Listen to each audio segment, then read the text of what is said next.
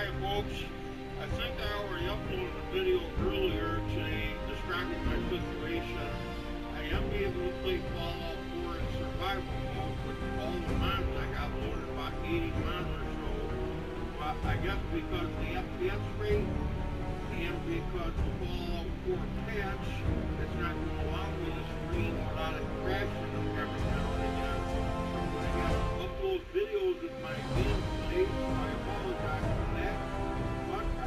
Much.